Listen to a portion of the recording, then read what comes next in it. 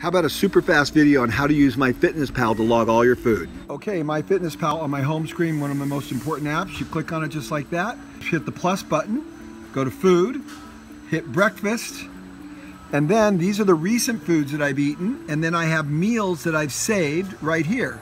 So I'm gonna scroll down, and these are all the foods that I put in with pictures, which really make it easy. I had an omelet with everything, 430 calories. I click on that, click the X, it says add one food right there, done, and it's in. It tells me that I ate for breakfast 410 calories. It tells me my goal is 220. I have 1700 left. I want to eat something for lunch. I click on the plus button right there for lunch, right? And then I go to my meals or I can scan it. Let's say I buy something in a package, God forbid, I could scan it right there. But that's how you can do it. Let's say I want to find a Chipotle salad. So watch this. Chipotle salad.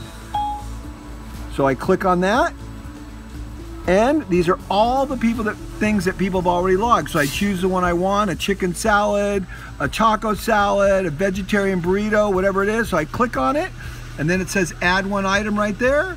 Boom, and it's added in. one of my favorite features is at the end of the day, I've logged my lunch, my dinner, I've even done my morning snack and my afternoon snack and I scroll all the way down to the bottom. I don't put my exercise in because I don't want to count any calories. I want to be consistent. Sometimes you, you end up saying, oh, I exercise today so I can eat more calories. I never do that. I go to the bottom, it says complete diary, complete diary right there, and watch this. It calculates exactly what I'm going to weigh at the end of five weeks. And you want to know what?